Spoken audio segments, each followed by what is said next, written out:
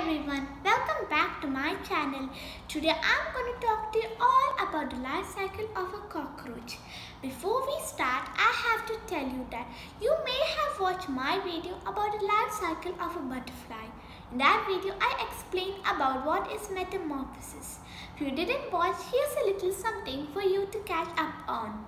Metamorphosis is when an animal in its life cycle will change its its body through its life cycle. Like this nymph of a cockroach change this type of a body into this adult cockroach.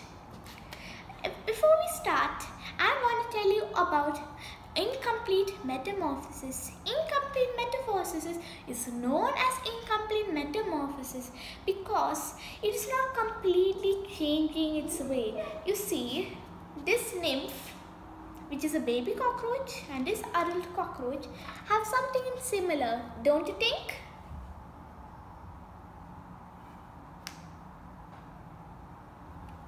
So, first, a female cockroach lays its egg which is usually protected by a case known as an egg case. It is black. So I didn't make that type of thing. So imagine egg case has already broken.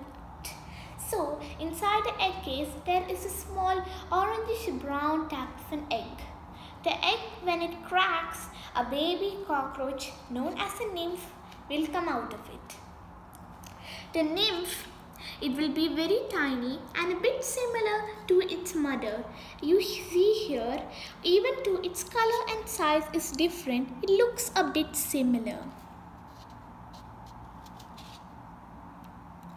When the nymph is out there, it will change, it will do molting. If you don't know what molting is, here is the answer. Molting is when an animal, usually an insect, shed its old skin for because its body got bigger and more better.